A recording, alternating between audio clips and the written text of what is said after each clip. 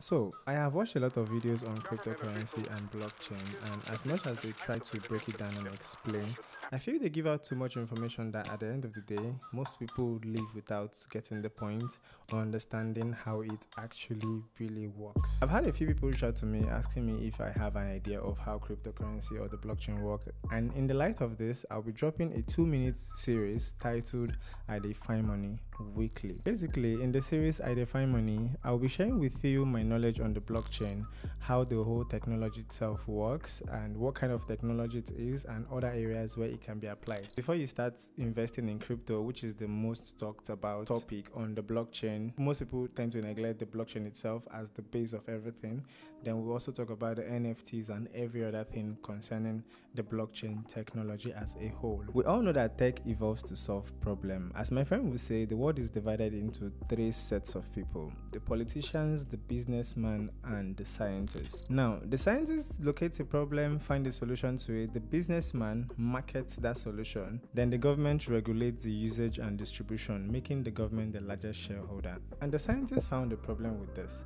Now, this is not the first time that someone has tried to create a digital money. Now, if person A, who creates digital coin X, gifts himself $1 million just for the fun of it, and because, okay, I created this thing, I can gift myself this, all of this will result in what we call double spending. David Chaum first proposed the idea of blockchain in 1982. Then in 1991 and 1992, Dave Bayer, Stornetta, and Haber incorporated this into their company, Surety, to help them increase efficiency by allowing them to collect several document certification in one single block. And in 2008, Satoshi Nakamoto, which could have been a single person or a group of persons, created the first decentralized blockchain. And in 2009, the design was implemented as the core component of cryptocurrency where it can be used as a ledger to record every transaction done on the network. Now, what is blockchain?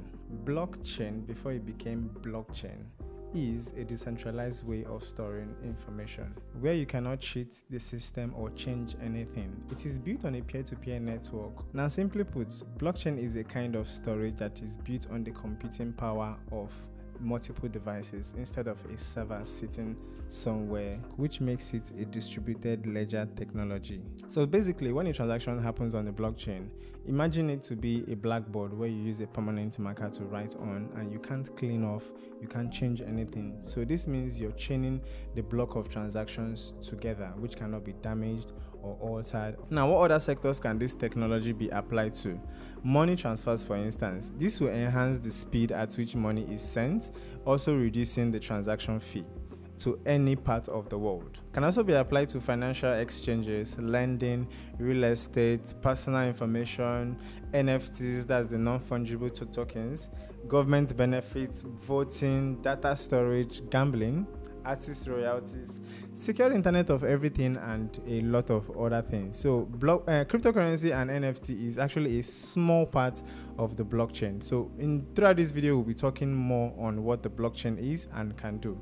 So, is there anything you learned from this video? Um, two minutes video. That was actually not two minutes. It was more than two minutes. But thank you for hanging with me to this point.